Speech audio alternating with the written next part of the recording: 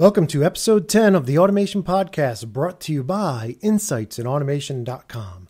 I'm Shawn Tierney, your host, and today on the show we'll be reviewing 2013 and our plans for 2014 at the Insights in Automation websites. Well, Happy New Year, everybody. I hope everybody had a safe and happy holiday season. We're now into the new year. It's 2014, and with the new year, it's always a good time to sit back and look at what happened in the previous year, to reflect on it, and to give you a sense of what you've accomplished. So, here at InsightsInAutomation.com, in 2013, we launched a total of four websites, starting out with our automation blog that was originally located at our homepage and main site, InsightsInAutomation.com. Then in October, we relocated our blog to its own domain, www.theautomationblog.com.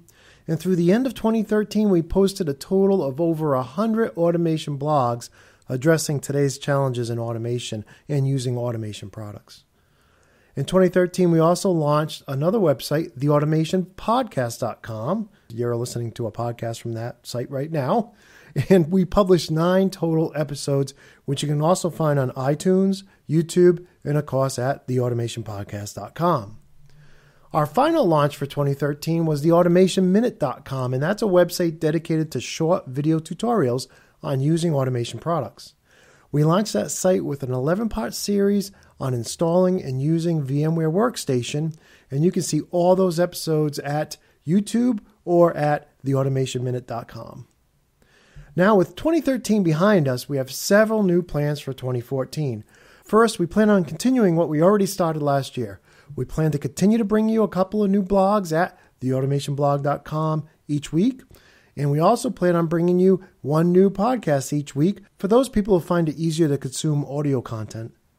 And we also plan on bringing you a new video every week at theautomationminute.com, which you can also find on our YouTube channel at www.youtube.com forward slash insights in automation.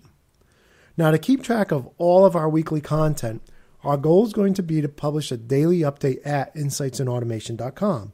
So if you're a daily reader, you can just go to insightsinautomation.com and you'll see a link to that day's content, whether it's a blog, a podcast, or a video.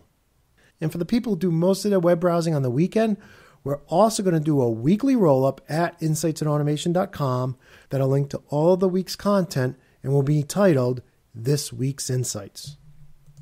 Well, we hope all these changes will help make our content easier to find and access in 2014. And while these aren't all the changes we plan on making this year, it's enough to definitely keep us busy for the foreseeable future. And that's it for this episode of the Automation Podcast. If you have any questions, comments, or corrections, please don't hesitate to share them with us by replying to this episode's blog post at theautomationpodcast.com, which can also be found with our short URL, link to tap, that's L I N K T-O-T-A-P.com.